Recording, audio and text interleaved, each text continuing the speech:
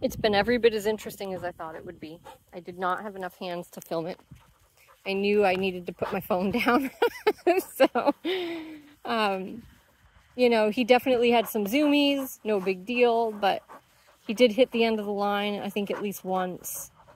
Um, and obviously he's moving fast and he's pretty big, so not great. Um, but then what's even more than that is he gets so aroused and stimulated when he has that kind of freedom and movement uh, that he then started smashing into my legs.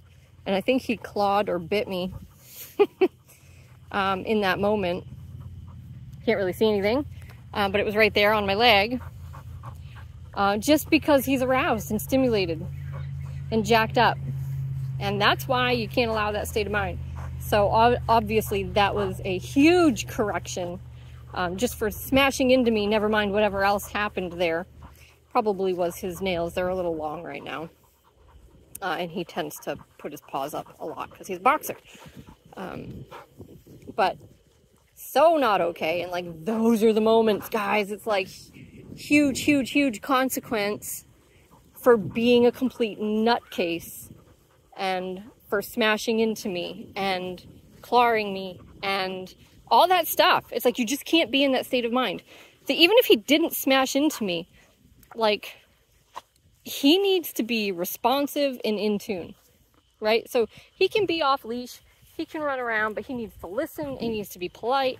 And like if there's not accountability for not doing that, if there's not accountability for being a complete nut job, then he will do it because it feels great. so, but obviously we got through to him. Um, this is much better. So, and he can go explore. He can even run around and that's fine. But we're not going to do the pulling your shoulder out of the socket and smashing into your legs.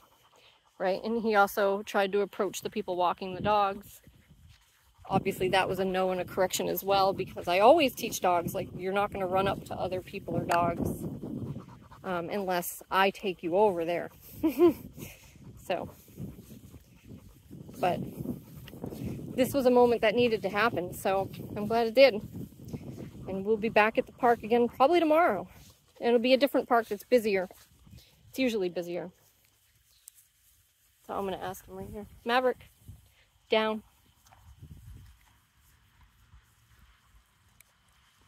taking a sweet time. No, down. Come on. Down.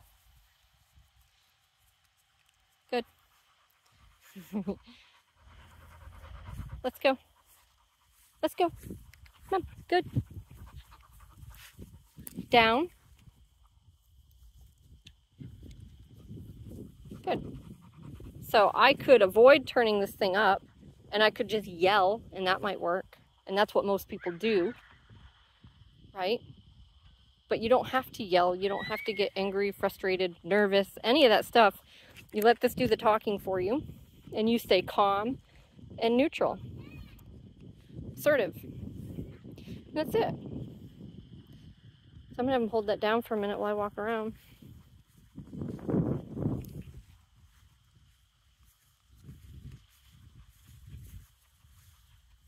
break. Good boy. Nice job. Let's go. Let's go. Crazy pants. Come on. See, that's fine. Boo.